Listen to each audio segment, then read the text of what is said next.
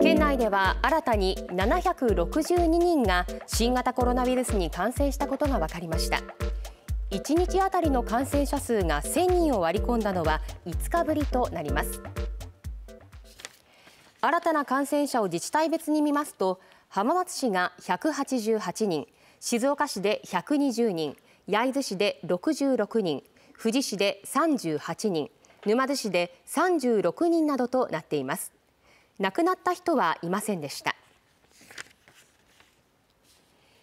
県内の1日あたりの感染者数は昨日まで4日連続で1000人を超えていましたが5日ぶりに3桁となりました。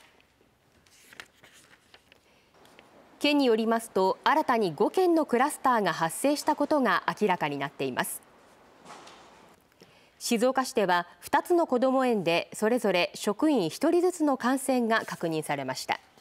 2人ともワクチンは2回接種済みで症状についてはともに軽症だということです。